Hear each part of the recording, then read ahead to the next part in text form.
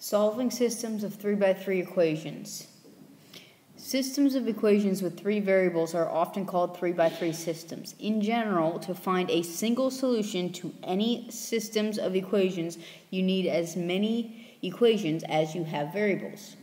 The solution to this system will be the intersection of three different planes, each plane being one of the equations.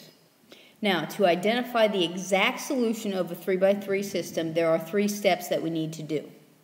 Step 1 is to reduce the 3 by 3 system to a 2 by 2 system. So what that means is we need to eliminate one of the variables completely. Step 2 is to solve the 2 by 2 system the same way we did before, either with substitution or with elimination. Either method will work. And step three is to substitute the, the solutions that you get from the 2 by 2 system into the original equation. You can put them into any of the three original equations as long as they have all of the variables. So let's solve the system of a 3 by 3 equations here. We have 5x minus 2y minus 3z equals negative 7, 2x minus 3y plus z equals negative 16. 3x plus 4y minus 2z equals negative 16. There are several ways that we can solve this, but in my case, or in this case anyway, I'm going to use equation 1 and equation 2 to start with. So what you're going to do is you're just going to pick two equations, any two equations, and then you're going to eliminate a variable. So I'm going to pick 1 and 2. So step 1 pick two equations, so number 1 and number 2. And I'm going to eliminate the z. So I have 5x minus 2y minus 3z equals negative 7. And I have 2x minus 3y plus z equals negative 16.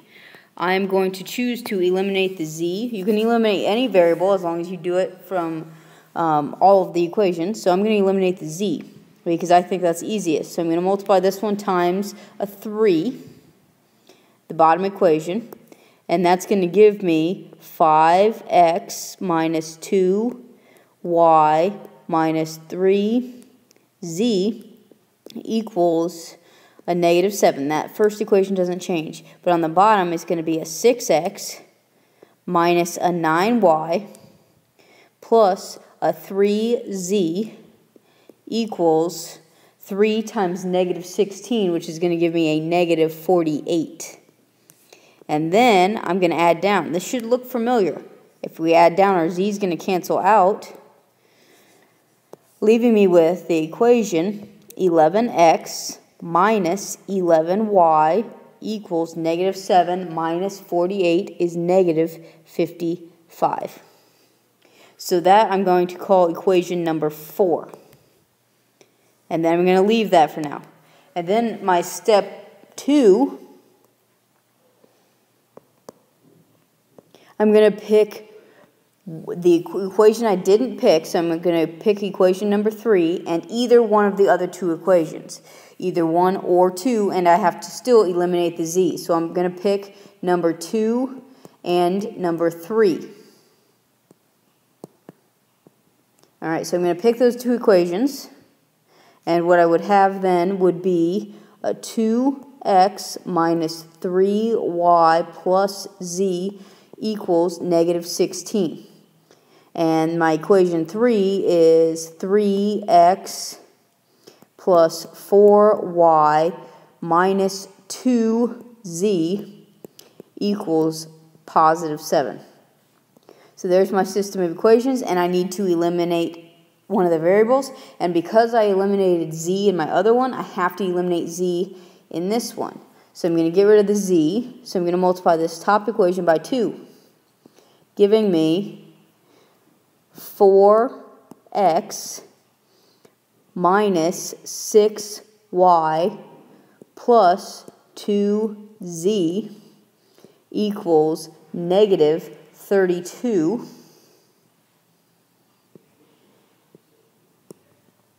And my next equation isn't going to change. 3x plus 4y minus 2z equals 7.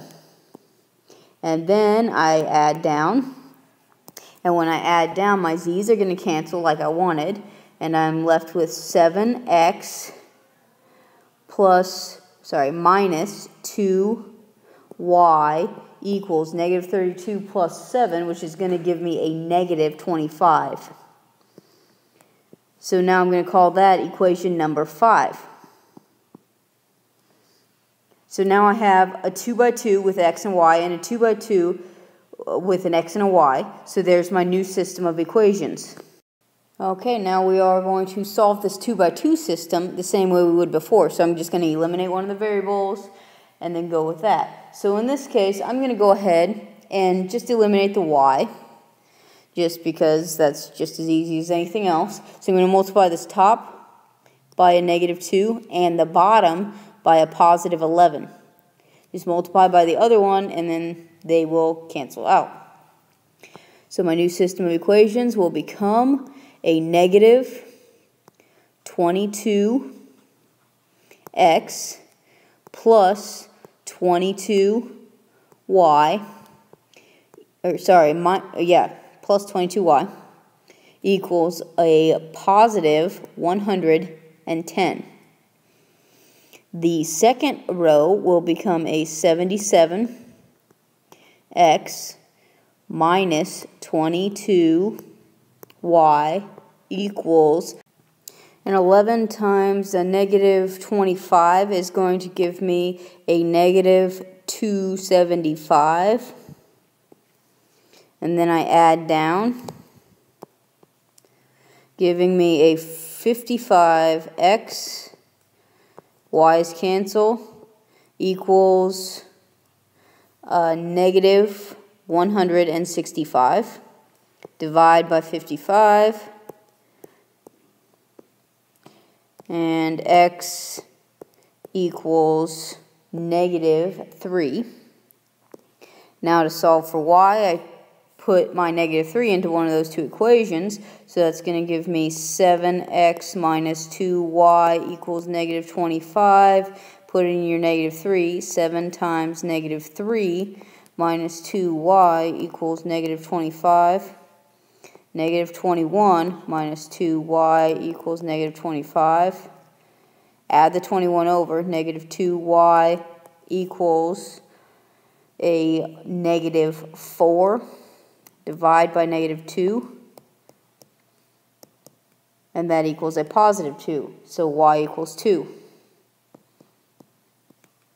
And finally, to find my z, all I need to do is plug it into one of my original equations. So if I go back and I look at my original equation, I get 5x minus 2y minus 3z equals negative 7. That's my first equation, and I'm just going to put in my x and my y.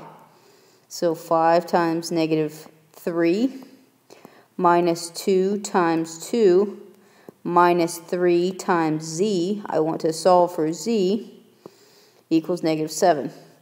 So that's negative 15 minus 4 minus 3z equals negative 7. So negative 19 minus 3z equals negative 7. Add the 19 over, giving me negative 3z equals a positive 12. Divide by negative 3. So z equals negative 4.